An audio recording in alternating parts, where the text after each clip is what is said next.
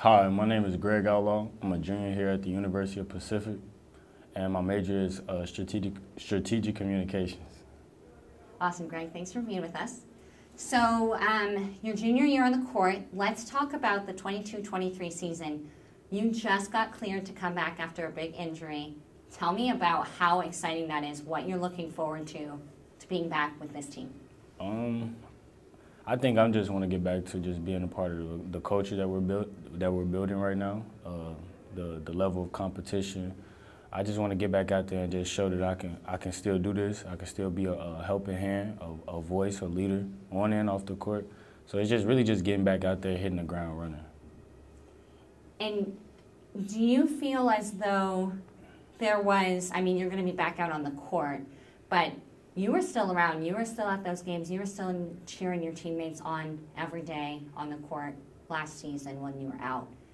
How do you think that plays into your leadership style, the culture of the team? Um, I, because I never got down, I think I still use my teammates as a motivation because they were they were out there doing a job as of like right then and there. I knew I couldn't get back out there, so I I took a job as a mentally. I wanted to prepare myself to get back on the court because I could physically be ready, but my mental had to be ready first. So me being around my teammates kept me uplifted, made me like, all right, I can still do this. This is something that I love to do. So watching them, it definitely gave me um, the motivation to still stay locked in. And that culture that you've talked about that y'all are building, you've brought in a lot of new players this season, mm-hmm. transfers, younger recruits.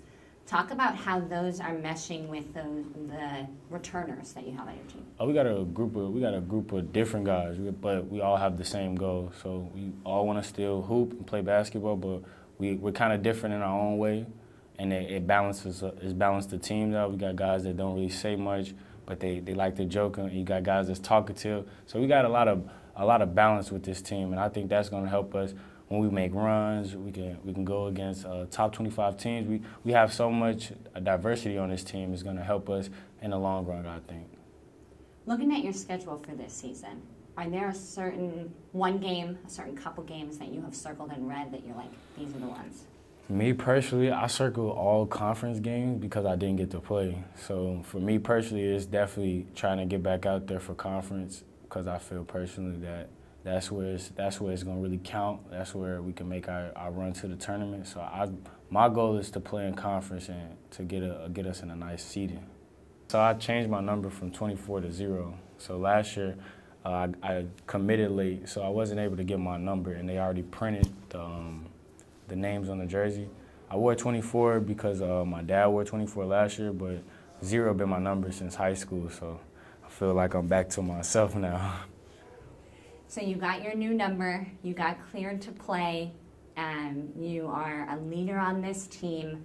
What is your message in the locker room to this team? My message to the guys is really to come out there and compete. Play with a, a level of, like, this is all we got.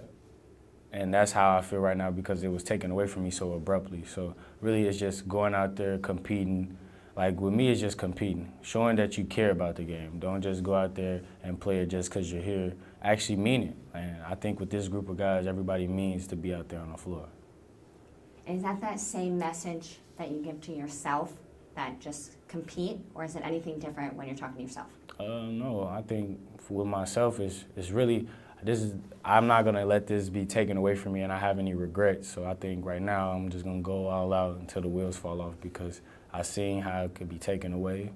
I understood that those days where I couldn't move or I couldn't walk, I, I cherish those days. Those days is like almost like yesterday. So I just got clear, but I still remember them days and not being able to get out the bed.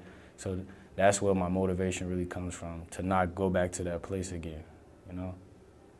And now that you're going to be back out on that court, and now that we have um, more leeway and less restrictions to get the fans back in the gym.